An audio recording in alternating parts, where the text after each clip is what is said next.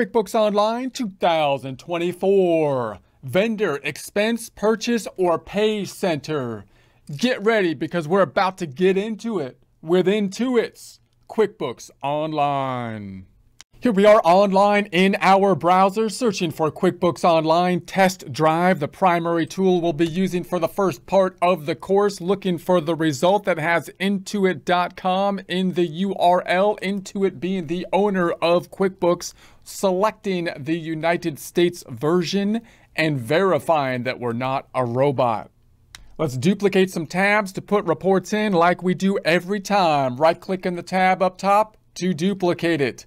Right click in the tab up top as it's thinking to duplicate again. Back to the tab to the middle as the one to the right is thinking. Reports on the left hand side, opening up one of the favorites, the balance sheet reports. Not just my favorite, by the way. Tapping to the right, it's everybody's favorite. Reports down below. If it's not your favorite, you have a problem because this is like one of the financial, the main, fin- and then the profit and loss, the other favorite the P&L, the profit and loss, the income statement, and then we'll go back to the first tab. This is the setup process we do every time. In prior presentations, we went over the general layout of the QuickBooks Online. We looked at the cycles in general, and now we're focusing in on the vendor cycle. So the vendor cycle, last time we talked about uh, the general process from the easiest cycle to the most difficult cycle, the easiest cycle being one in which we're not only on a cash-based system, but we're paying for bills as they become due by basically entering expense forms, but possibly not even entering the expense form directly here, rather using the bank feeds to, to connect it and then using the bank feeds to record the expense forms or having the credit card uh, be entered. And so, and then again, connecting the bank feeds to pay off the credit cards. The slightly more difficult cycle being still a cash based system, but one where we write checks because in that system, I can't rely on the bank feeds to actually enter the transactions. I want to enter the transactions first to track the outstanding checks that, that are in place. And then the accrual system where we enter a bill first and then we're going to be uh, paying the bill at a future time, meaning it's going to be going in and out of accounts payable. First, a word from our sponsor. Yeah, actually, we're sponsoring ourselves on this one because apparently the merchandisers they don't want to be seen with us. But but that's okay, whatever. Because our merchandise is, is better than their stupid stuff anyways. Like our Accounting Rocks product line. If you're not crunching chords using Excel, you're doing it wrong. A must have product because the fact, as everyone knows, of accounting being one of the highest forms of artistic expression means accountants have a requirement, the obligation, a duty to share the tools necessary to properly channel the creative muse. And the muse she rarely speaks more clearly than through the beautiful symmetry of spreadsheets. So get the shirt because the creative muse, she could use a new pair of shoes. If you would like a commercial-free experience, consider subscribing to our website at accountinginstruction.com or accountinginstruction.thinkific.com. Now, from a strictly journal entry standpoint, we'll talk about each of these forms what the journal entries will be and the impact on the financial statements of them. A lot of times, if you're working or if you're starting your accounting career, for example, uh, as a student of accounting first, then you might have a mindset that you see everything in terms of journal entries. You, you're looking at the impact on the financial statement from the standpoint of a journal entry, which is great because those are the building blocks of the financial statements but it's also important to make sure that we understand the flow of the forms because oftentimes people kind of forget about what the forms are doing beyond just the journal entries. So the forms from a bookkeeping standpoint are going to be linked together. For example, the bill form and the pay bill form aren't just journal entries that are going to be making the financial statements. They also make the flow of the process easier internally, making it easier for us to enter the transactions and to communicate with the people we need to talk to, our business uh, partners and whatnot, which in this case are our vendors. Now, so usually we do this in what I would call the vendor center. That's what it used to be called in the old uh, or the QuickBooks desktop.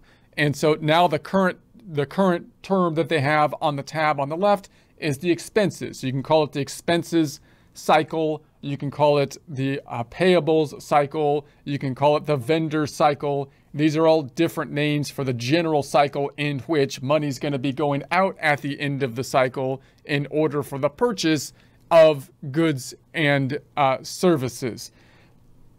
Now, note that the tracking of information in uh, the, the vendor center or the expense center over here, which you can see actually has the vendors within it, meaning these are the people that we're actually paying when you write a check or you enter the electronic transfer. These are the people that they are going to, remembering that vendor for the purposes of QuickBooks represents that side of the table. We're paying other people. The money is going out for goods and services that we are purchasing.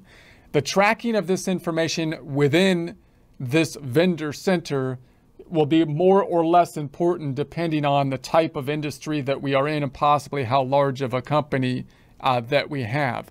So remember, when we look at these cycles, if you're in a situation where you're just paying for the goods and services, the utility bill comes in and you just pay it with an expense form, possibly waiting until it clears the bank feeds and just recording it at that point in time, all you really need to do is pay the bill. It would be nice to be able to track, of course, who you paid so that you can make sure that you can sort that information by who you paid. But you don't need to track when you need to pay them, right? All you need to do is, is enter the information to record the transaction because we're not tracking an accounts payable kind of system. However, if you are in a system where you're tracking accounts payable, the bills are coming in, you're recording them as bill forms in your accounting system, and then you're going to pay them at a later time. Therefore, they're going in and out of accounts payable. It becomes important to be able to track this information in the vendor center because you're going to need to do more communication possibly with the vendors and make sure that you're paying the vendors on time. And that's when tracking that information over here in the vendor center is going to be, you know, more important. So this is where we go to basically do the internal uh, kind of processing of the form. So for example, if we're communicating with vendors, they might be asking, where's our money and so on.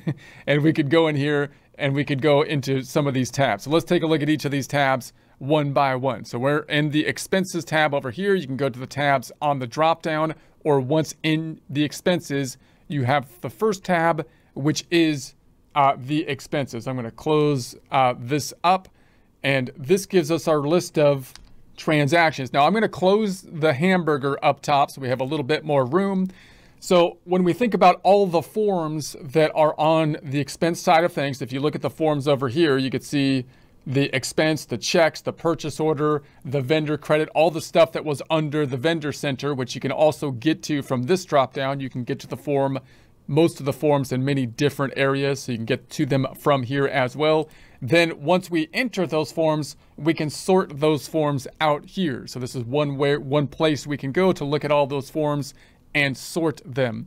So in the transactions dropdown, we can look at all transactions. We can look at each of the transactions individually. If we had an expense form that went out, possibly if we have a system where, where we are on a cash-based system, paying with things for things with bank feeds, for example. If I want to go in and find a particular transaction, this might be one place that I can I can go and do it. I can also go and do it by going to the check register, or I can go up top into the checking account here, and I can click on the checking account, and that drills me down to the actual data that is within it. Now, this is going to be all the transactions that are impacting this form. So if I wanted to look at it uh, more specifically just for expense types of transactions, then I could further filter this form. So I can go to the filters up top and say I want to filter by the transaction type. And so then uh, the options I want to be uh, equal to, and the transaction type would be the expense form. And then I can see that filtering option over here. So this is another way that you can kind of drill down uh, on uh, particular forms, which is a useful tool. So similar process, I'm gonna exit that, I, is going over here. I'm searching for everything that's basically an expense form. The other place you might go to, to look at anything cash related, related is uh, the cash register. We'll talk more about that uh, later, however. If I hit the drop down, then we could also be sorting by the bills. Now, if you're entering bills, remember that the bill means a bill form for QuickBooks means that accounts payable is going up. So if you're using bill forms, then this is going to be one of the most important you know, things to track on the accounts payable side of things because you want to track whether or not you've paid off the bills. So we, we have our bills sorted by the date, the payee, the category, and then the due date, which is often going to be an important way to be sorting out the bills to, to make sure that you're going to pay them. You can sort, you can adjust the sort fields over here as well. And then we have the pay bills. Now, if you're entering bills, the pay bill is just basically a check or expense form in that it's decreasing the checking account. But the fact that it's a pay bill form gives you more information because that specifically means you're paying off the accounts payable. If I go back into the checking account up, up top, we can kind of see that if I go into my checking account again and we see the types of transactions here, deposits, here's a pay bill. See, it still says check here, but it's a special check that we know was used just to pay off the accounts payable as opposed to other checks which might have been written and the other side go into like an expense form, for example. So we'll talk about that more in the future when we look at each of these forms. And then a check form is like an expense form, except that it, just doesn't have the check number in essence, decrease in the checking account. The other side go into an expense, which would be a normal, you know, the same kind of normal types of transaction, except that if you're entering checks, then you want to enter the check not from the bank feeds, but you want to make sure that we're entering those before so we can track them. And then we have the purchase order. This would be a request for inventory if we're in the type of business we, where we can use purchase orders, and that would be an order or request for the inventory. Very important if you're in that kind of business to be able to sort them and know where to find them because these transactions are not actually impacting the financial statements. And then you got the recently paid items, which could be a quicker way to find particular items. You have the print checks over here uh, and pay bills. So uh, if you're entering checks and you're then printing them, to print checks out of QuickBooks, you actually still have to buy the checks. You can't print out checks on a blank piece of paper because you still want the internal control of the check numbers. So you have to actually buy the checks. You got to make sure that you put them in the printer the proper way and then enter the checks and then you can go through and print out the checks. That's becoming less and less necessary these days as more people are moving to electronic transfers because that's just you know the way things are are going these days, whether whether you like it or not. So this is going to be uh, export to Excel. You can export this to Excel. You can print it, and we have our options here for the columns if you want to uh, adjust the columns for class location. Now class tracking is a if you had class tracking turned on, that's just another way that you can sort your uh, information on mainly the income statement. Same with location tracking, status, the method, the source, the memo, or the balance you can add to the field. And this just increases the number of items that are displayed. And then and then you would have a, a next arrow if you have more items that than this that you wanted that you needed to go to, or you can try to display more on one screen at the given time. If we go to the bills form, this is going to give you information uh, specific to the bill. So we've got for review, we've got the unpaid. So this is an area that we can go specifically for the bills, which is going to be the most biggest concern area if you were, were, were working in accounts payable, for example, in a company that was a larger company tracking the, the bills, because of course you'd be tracking your bills to see which ones you need to be uh, paying. So these are the bills that have been entered. You could schedule a payment over here, mark as paid, uh, duplicate, delete uh, the information. And then on the pay tab, these are the ones that have uh, these have been paid. So you can see basically a flow from the unpaid to the paid. We have our filtering option up top for the vendors, so we can look at a particular vendor if we want to check a particular bill uh, that would have been paid last 12 months, the date range to be able to find those bills. And then we have the vendors. So the vendors, uh, if we were to, if a certain vendor contacted us and said, "Where's my money?" or something like that, this might be the first place uh, that we go. And within this first page, it gives you relevant information that can be sorted up top. So if we're talking about purchase orders, I could sort to the purchase orders, and here's the vendor that has the open purchase order. I have the uh, overdue items. So these vendors have bills that are overdue. And then we've got five open bills. So these are the vendors with the open bills. And then we've got the 21 paid uh, last 30 days. So these are the recently paid items. So those are basically filters. So if I want to clear the filters, I can clear the filters over here. And so now we're back to where we were, having all the vendors. Now, if you wanted to remove this thing up top, this little triangle just removes that, so it closes it up.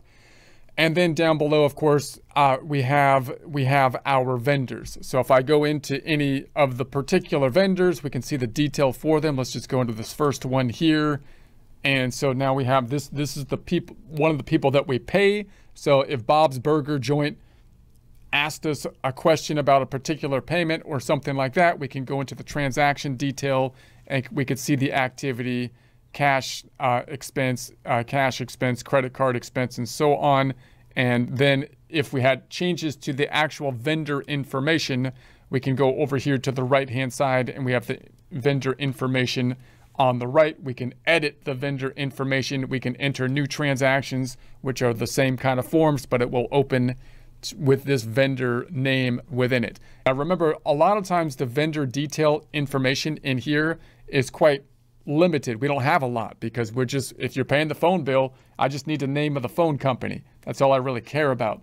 But sometimes some vendors will be quite important because if you if if it's your main vendor that you buy inventory from, then that is going to be someone that you might want to have a lot more information in the detail over here.